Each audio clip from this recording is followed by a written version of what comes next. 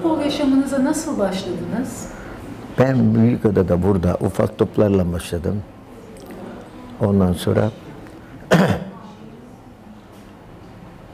askere gitmeden evvel, daha ufaktım ama. Bunlar nüfus kağıdımı büyüttüler beni. Taksim Kulübü.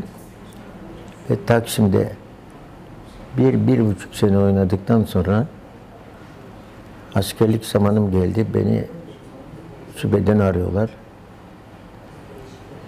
Kalktık erken yaşta askere gittim. Askerliğimi bitirdim 4 sene Diyarbakır'da.